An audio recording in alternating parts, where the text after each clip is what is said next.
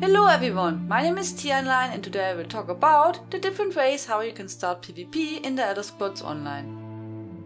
We will talk about how you can enter Cyrodiil, the Imperial City, Battlegrounds and also how you can start a duel.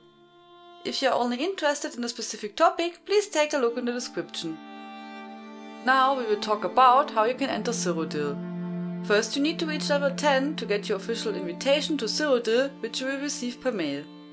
If you want to go now to Cyrodiil, you have to open your inventory. On the top of your window, click on the Alliance War icon or press the L key. The Alliance War window will open and you can choose which campaign you want to enter. As you can see, every campaign has different rule set.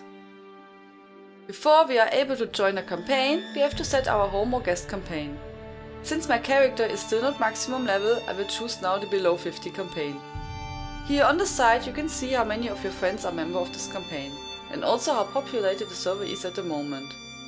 If you see a log sign, that means that the server is full for players of this alliance.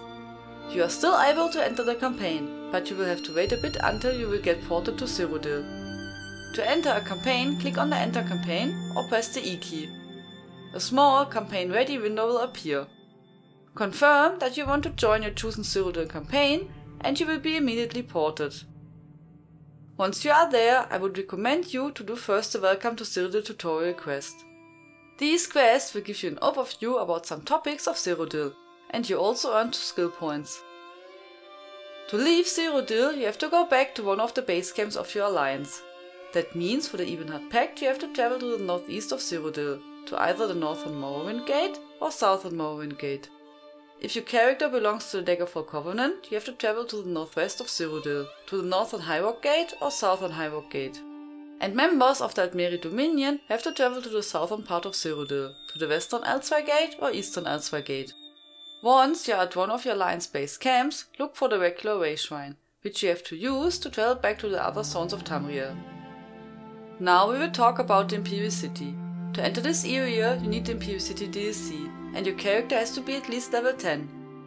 The Imperial City is located in the center of Cyrodiil. That means we have to enter first Cyrodiil to be able to travel to the Imperial City. Like mentioned earlier, enter Cyrodiil campaign of your choice. Once you are in Cyrodiil, you have to travel to the center of the map, where you can find three entrances to the Imperial City sewers. You can find one entrance north, one west and one south of the Imperial City. You will start your journey at the Imperial City sewers, but you can also go upstairs and explore the Imperial City districts. If you want to leave the Imperial City, you have to go back to the door which leads back to Cyrodiil. You will find yourself ported back to one of your Alliance base camps in Cyrodiil.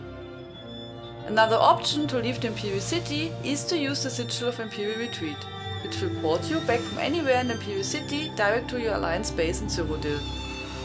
For example, you can buy the sigil at the Tel Var General Merchant in the Imperial City sewers for 10,000 Alliance points.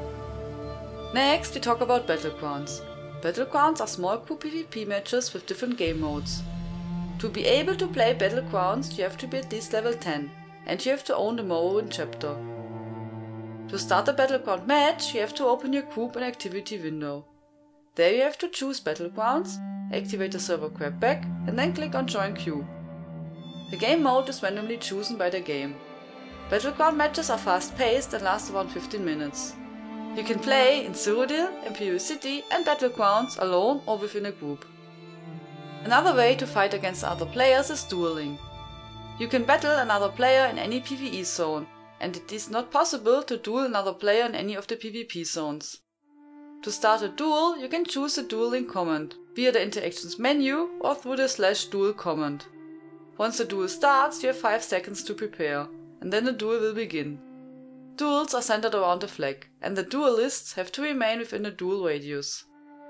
If someone leaves the radius, it will be treated as a forfeit.